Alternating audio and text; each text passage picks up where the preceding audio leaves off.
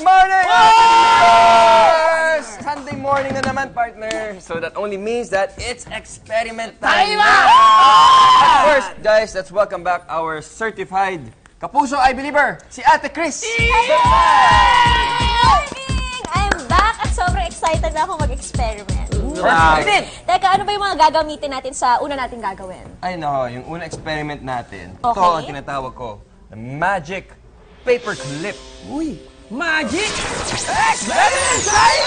Ito yung mga gamit natin. Unang-una, syempre, kailangan natin ng nitinol. Blowtorch, gun tucker, screwdriver, plies, hot water, wood plank, and uh, cold water. First step, ang gagawin natin sa nitinol, isi-shape natin siya sa hugis ng paper clip. Dapat ano na lang po eh. Oh! Yes! Okay, very good. Okay, pero mga I-believers, kung gusto niyo simplihan, pwede naman kayo gumawa ng sarili ninyong shape eh. Ayan na, okay. Yun! So next step, which is very important, ay kailangan natin siyang initin using the blowtorch. Okay? For about 2 to 3 minutes. Gagamitin natin ganun ito. pala katagal So yun. kailangan mag-ingat tayo dahil may kinalaman sa Bat apoy. first! Bat first! Bat Tama. first! First, Kuya James, tama. ano paalala mo sa mga first! I-believers? Bat first!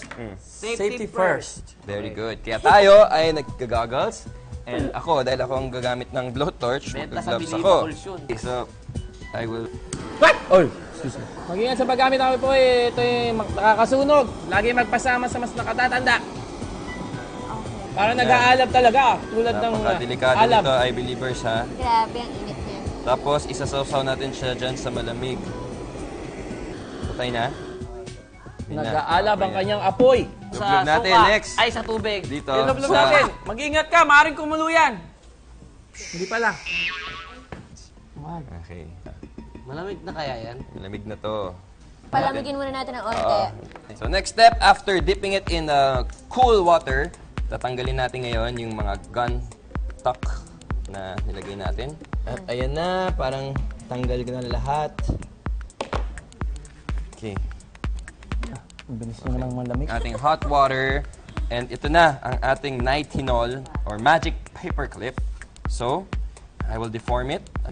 Uh, tingnan natin ha, believers. Tignan nga natin, babalik pa rin siya sa dati. Okay! The hotter the water, mas mabilis siyang bumalik. Talaga? Talaga?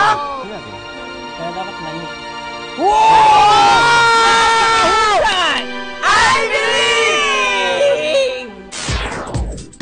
nitinol ay isang metal alloy na gawa sa nickel at titanium. Kilala rin ito sa pangalang memory metal.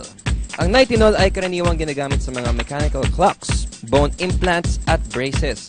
Ito ay may dalawang unique properties, shape memory effect at super elasticity na dahilan kung bakit ito may kakayahang mag-iba ng hugis pag nainitan at bumalik sa dating hugis pag nainitan ulit.